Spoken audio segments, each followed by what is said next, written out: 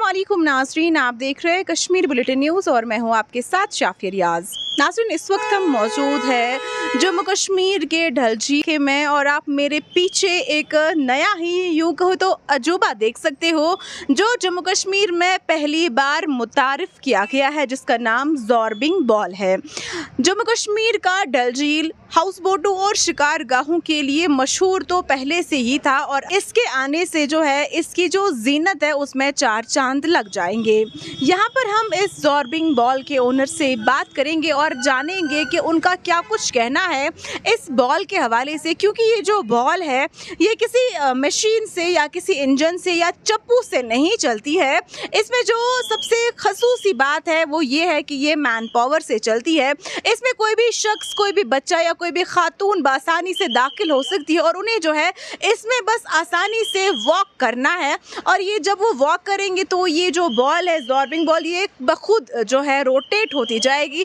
और वो जो है बसानी से इस एडवेंचर से लुत्फ़अंदोज़ हो सकते हैं। हम करते हैं इसके ओनर से बात और जानते हैं उनका क्या कुछ कहना है इस बॉल के हवाले से। आप हमें बोलिए जो जॉर्बिंग बॉल है इसका ख्याल आपको कहाँ से आया? और आपने इसको जम्मू कश्मीर में इंट्रोड्यूस करने के जो आपका अपना थाट है वो कैसे आया? मैं बेसिकली मैं गया था वेस्ट बंगाल गया था मैं। तो वेस्ट बंगाल में एक लेक आ, उसको उसका नाम है साइबान लेक तो मैंने वहाँ पर देखा जोम्पिंग बॉल जो है, वहाँ पर मैंने देखे दो बॉल थे। तो वहाँ पर हम लोगों ने शिकारा डाला था। तो बाद में हम लोगों को आइडिया आया कि हमारे जो श्रीनगर में जो हमारा डल लेक है डल लेक में भी ऐसा एडवेंचर होना चाहिए, कि ऐसा वाटर स्पोर्ट्स होना चाहिए जो जो जंपिंग वाले, ये भी डल लेक में होना चाहिए। तो इससे एक तो टूरिज़्म के लिए भी अच्छा है और हमारे लिए भी अच्छा है। और जो जो यहाँ पे लोकल्स वगैरह है, उनके, उनको भी अच्छा फ़ंड रहेगा इसमें। क्योंकि यहाँ पे मशहूर है शिकारा राइट है, या मोटर बोट्स है या जक्शनी बोट है तो हम लोगों ने सोचा कि हम लोग यहाँ पे भी ऐसा कुछ अलग अलग कुछ करें, क्योंकि यहाँ पे भी लोगों को अच्छा लगे कि ये जो ज़ोर जोरपिंग बॉल है तो इससे लोगों को एक तो रोज़गार मिलेगा और यहाँ पे टूरिज़्म टूरिज़्म के लिए बहुत अच्छा एक यह बनेगा। तो पॉइंट एक। इसमें आपको क्या, जम्मू कश्मीर टूरिज़्म से कुछ मदद वगैरह मिली?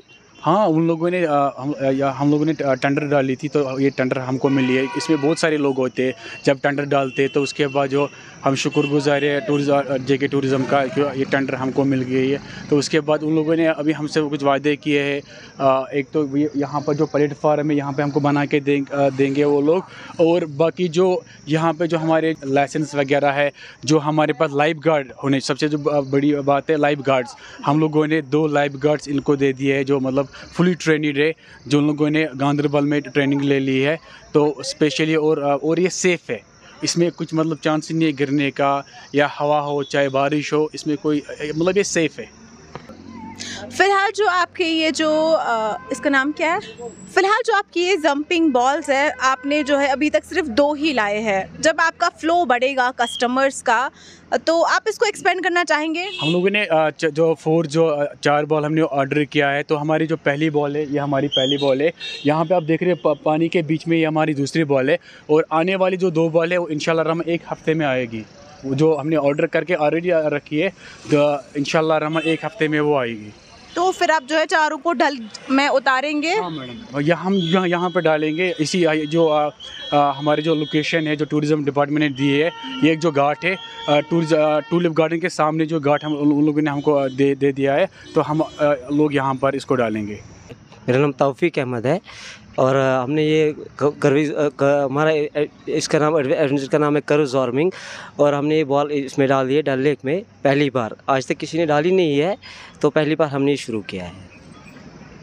आपकी इस बॉल के बारे में कुछ बताइए। आपको आइडिया कहाँ से आया इसको इंट्रोड्यूस करने का जम्मू कश्मीर में? आज तक किसी ने ईजाद नहीं किया है मतलब किसी ने डल लेक में डाली नहीं है जेट्स की डाली है या पैडल बोट डाले हैं तो पहली बार हमने जो ये किया है शुरू किया है जॉर्मिंग बॉल।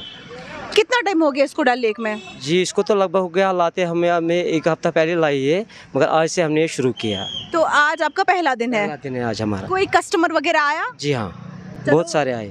इसमें आपको सपोर्ट वगैरह मिला जेके टूरिज़्म से या टूरिज़्म ने हमको बहुत सपोर्ट किया इसमें। उन्होंने ही परमिशन दिए और उन्होंने- ही बोला आप करो कोई बात नहीं आराम से कर सकते हो आप। और एल सी एम एम से हमें ये परमिशन लाना पड़ता है। जैसे कि हमने ये बनाया प्लेटफॉर्म बनाया तो वो एल सी एम से एल सी एम से लाना पड़ता है। और जे के टूरिज़म से हमें बहुत बहुत बहुत अच्छे से मतलब हमको ये उनकी तरफ़ से मतलब सपोर्ट मिला है। आपका बहुत बहुत शुक्रिया हमारे साथ बात करने के लिए। जी तो नासरीन ये एक अनोखी चीज़ है जो अब सयाहों के लिए, टूरिस्टों के लिए एक और अट्रैक्शन बनेगी और लोग सयाह के साथ साथ जो मकामी लोग हैं, वो भी इसकी तरफ़ जो अट्रैक्ट होंगे और वो भी इसमें जो है सैर सवारी करना ज़रूर चाहेंगे। आप कश्मीर बुलेटिन न्यूज़ देखते रहिए।